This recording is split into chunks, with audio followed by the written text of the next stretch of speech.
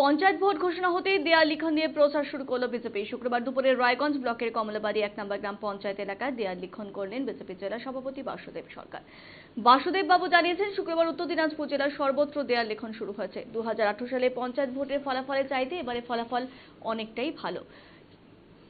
দু হাজার আঠেরো সালে পঞ্চায়েত ভোটের ফলাফলের চাইতে এবারে ফলাফল অনেক ভালো হবে। গত পঞ্চায়েত ভোটের ফলাফল তিন গুণ বাড়বে। জেলা পরিষদ গেরুয়া আবিরে খেলা হবে বলে এদিন দাবি করেন বিজেপির জেলা সভাপতি। আগামী বৃহস্পতিবারের মধ্যে জেলায় একশো শতাংশ আসনেই প্রার্থী মনোনয়নপত্র দাখিলের কাজ শেষ হবে।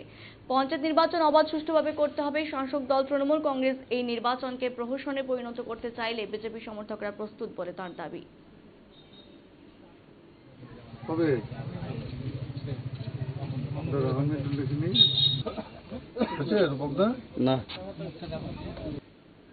গতকাল নির্বাচনের নিঘণ্ট ঘোষণা হয়েছে।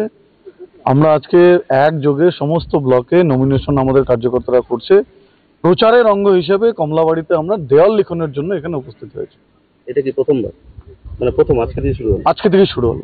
কোথায় কোথায় হচ্ছে দেওয়াল লিখন? দেওয়াল লিখন জেলার বিভিন্ন প্রান্তে হচ্ছে। আমি কমলাবাড়ি এই একশো একানব্বই নম্বর বুথে আর তার শুভ সূচনা করলাম আজকে এই নির্বাচনকে কেন্দ্র করে।